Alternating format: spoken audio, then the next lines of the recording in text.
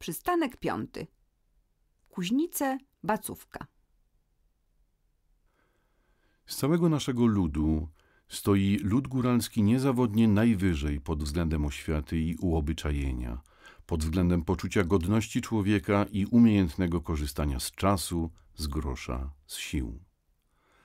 Nie jest tu nic niezwykłego spotkać się z człowiekiem, który wszystkie szkoły, a nawet uniwersytet porządnie ukończył, który kilku językami mówi, a pomimo to nie wlecze się po świecie, lecz wróciwszy do domu, wdziewa na siebie góralską guńkę na powrót, a jako gazda obyczajem ojców owczarzy, rybiarzy lub furmani, jak ci, co przed nim byli i na zagrodzie tu siedzieli.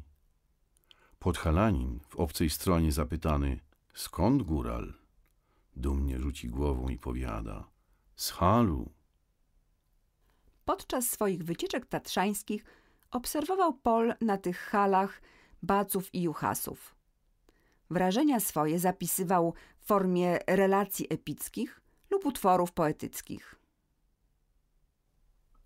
Na świętego, na Wojciecha, u nas w polu już pociecha, ale w górach ledwo taje, i zaledwo jarna staje. A na świątki, na zielone, szumią majem świeże lasy, owce w góry wypędzone, w halach schodzą się juchasy.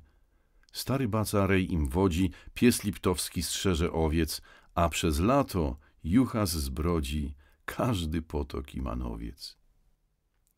Redyk wiosenny, czyli wprowadzenie owiec na hale, wyruszał 23 kwietnia natomiast zakończenie sezonu wypasowego przypadało na koniec września.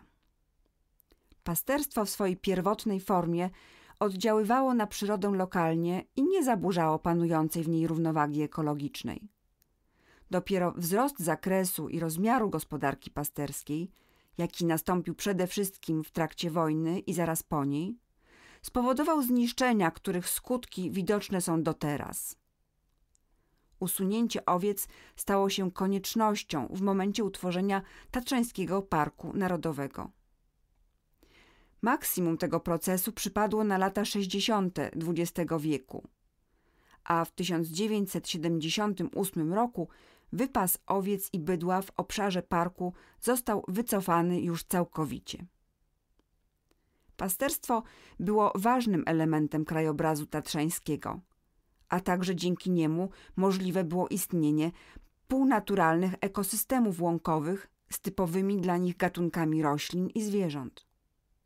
Dlatego w 1981 roku wprowadzono na terenie parku ograniczony wypas kulturowy owiec, zwany dziś po prostu wypasem kulturowym.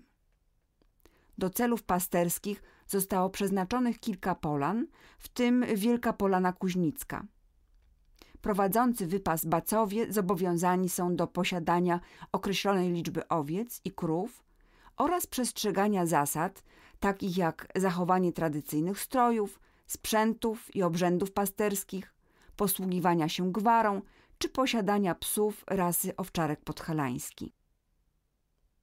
Nasza wycieczka dobiega już końca. Pora teraz, aby nadrobić stracone kalorie, próbując miejscowych przysmaków. Dziękuję za miłe towarzystwo i mam nadzieję, że ten spacer będzie zachętą do dalszych tatrzańskich wędrówek.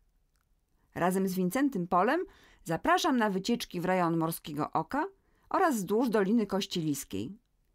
Gdyż, jak mawiał nasz poeta i geograf, w Tatrach trzeba i pożyć, i ożyć się z nimi w różnych porach roku, chcąc w istocie ocenić ich właściwość i zrozumieć, jak odrębnym życiem żyją i ile się tu potęg natury składa na wydanie tych uroczych piękności, które nas całym swoim uderzają czarem, gdy je w godowej widzimy szacie.